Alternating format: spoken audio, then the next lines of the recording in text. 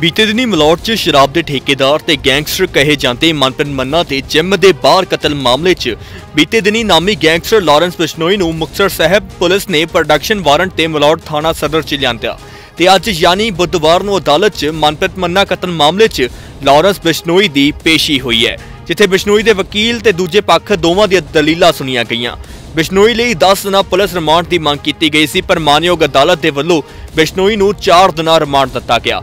ਕਾਬਲੇ ਗੌਰ ਹੈ ਕਿ ਲਾਰੈਂਸ ਬਿਸ਼ਨੋਈ ਦੇ ਫੇਸਬੁੱਕ ਪੇਜ ਤੇ ਕਿਸੇ ਵੱਲੋਂ ਪੋਸਟ ਪਾ ਕੇ ਮਨਪ੍ਰੀਤ ਮੰਨਾ ਦੇ ਕਤਲ ਦੀ ਜ਼ਿੰਮੇਵਾਰੀ ਲਈ ਗਈ ਸੀ।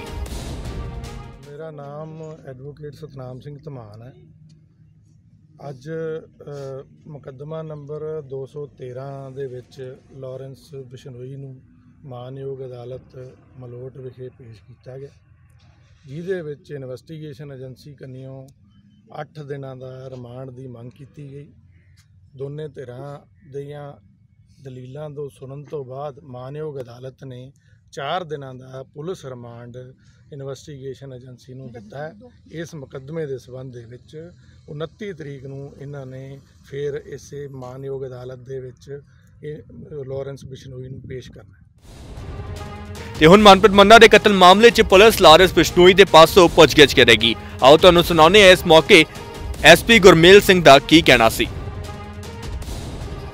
ਕੀ ਮਾਮਲਾ ਸੀ ਅੱਜ ਬਿਸ਼ਨੋਈ ਨੂੰ ਪੇਸ਼ ਕੀਤਾ ਗਿਆ ਇਹ ਤੁਹਾਨੂੰ ਸਾਰਿਆਂ ਨੂੰ ਪਤਾ ਹੀ ਹੈ ਪਿਛ- ਕੁਝ ਦਿਨ ਪਹਿਲਾਂ ਜਿਹੜਾ ਮਨਦੀਪ ਮੰਨਾ ਦਾ ਇੱਥੇ ਮਰੋੜ ਦੇ ਜ਼ਿਲ੍ਹੇ ਦੇ ਬਾਹਰ ਹੈ ਉਹ ਕਤਲ ਹੋ ਗਿਆ ਸੀ। ਉਸੇ ਸੰਬੰਧ ਵਿੱਚ ਉਹਨੂੰ ਪ੍ਰੋਡਕਸ਼ਨ ਬਣਾਉਣ ਤੇ ਫਿਲਹਾਲ ਬਿਸ਼ਨੋਈ ਨੂੰ ਲੈ ਕੇ ਆਏ ਰਸਤਾ ਚ ਕਿੰਨੇ ਦਿਨਾਂ ਦਾ ਪੁਲਿਸ ਵੱਲੋਂ ਰਿਮਾਂਡ ਦੀ ਮੰਗ ਕੀਤੀ ਗਈ ਸੀ? ਤੇ ਕਿੰਨੇ ਦਿਨਾਂ ਦਾ ਰਿਮਾਂਡ ਮਿਲੇ ਇਹ ਦਸ ਦਿਨ ਮੰਗ ਕੀਤੀ ਚਾਰ ਦਿਨ ਦਾ ਬਣ ਦਿੱਤਾ ਨੇ। ਕਿੱਥੇ ਕਿਸ ਤਰ੍ਹਾਂ ਰੱਖਿਆ ਜਾਊਗਾ? ਕਿ- ਕਿਸ ਕਿਸ ਹਿਰਾਸਤ ਨਹੀਂ ਬਸ ਅਸੀਂ ਪ੍ਰੋਸੈਸ ਕਰਾਂਗੇ ਤੋਂ ਕੋਈ ਇਹਦਾ ਕੋਈ ਰੋਲ ਹੈ ਜਾਂ ਕਿਸੇ ਸਾਥੀ ਦਾ ਇਹਦਾ ਕੋਈ ਰੋਲ ਹੈ ਕਿ ਨਹੀਂ ਹੈ ਇਹਦੇ ਵਿੱਚ? ਉਹ ਤਫਤੀਸ਼ ਕਰ ਰਹੇ ਸੀ ਕੋਸ਼ਿਸ਼ ਕਰਾਂਗੇ ਕੱਲੇ ਇਹਨਾਂ ਨੂੰ ਲਿਆਂਦਾ ਗਿਆ ਸੀ ਕਿ ਕੋਈ ਹੋਰ ਵੀ ਸਾਥੀ ਇਹਨਾਂ ਨਾਲ ਪੇਸ਼ ਕੀਤੇ ਗਏ? ਨਹੀਂ ਫਿਲਹਾਲ ਤਾਂ ਨਹੀਂ ਜਾਂਦਾ ਕਿਉਂਕਿ ਪਰਤਪੁਰ ਜੇਲ੍ਹ ਸੀ ਉੱਥੇ ਪ੍ਰੋਡਕਸ਼ਨ ਵੇਖਣ ਵਾਲੀ ਗੱਲ ਹੈ ਕਿ ਸਾਰੇ ਕਤਲ ਮਾਮਲੇ 'ਚ ਬਿਸ਼ਨੋਈ ਗਰੁੱਪ ਵੱਲੋਂ ਫੇਸਬੁੱਕ ਤੇ ਮਨਪ੍ਰੀਤ ਮੰਨਾ ਦੇ ਕਤਲ ਦੀ ਜ਼ਿੰਮੇਵਾਰੀ ਲੈਣ ਤੇ ਮਾਮਲੇ 'ਚ ਅੱਗੇ ਪੁਲਿਸ ਵੱਲੋਂ ਇਸ ਗੈਂਗਸਟਰ ਦੀ ਪੁੱਛਗਿੱਛ ਦੌਰਾਨ ਕੀ ਖੁਲਾਸੇ ਹੁੰਦੇ ਨੇ। ਮੁਕਤਸਰ ਸਾਹਿਬ ਤੋਂ ਇਹ ਸ਼ਾਂਤ ਦੀ ਰਿਪੋਰਟ ਡੇਲੀ ਪੋਸਟ ਪੰਜਾਬੀ।